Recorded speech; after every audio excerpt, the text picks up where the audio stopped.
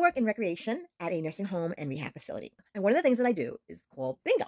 I have a lot of fun with my residents, and sometimes I tell them that I'm hungry because I am. Because I know when I get hungry, I might say a wrong number because some games you some numbers you don't call. So when I do that, I double the pot. And they love that. They love that. They want me to screw up all the time. Well, yesterday I was calling bingo numbers, and again, I was hungry. I'm calling the numbers, and I'm like, B12.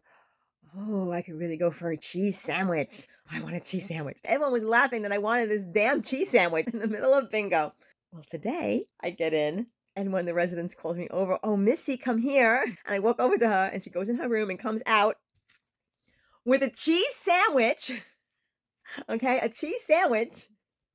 She goes, Missy, you kept saying you wanted a cheese sandwich yesterday. I saved this for you. Isn't that the sweetest thing? Oh my God, she saved me a cheese sandwich. Isn't she great? I love it.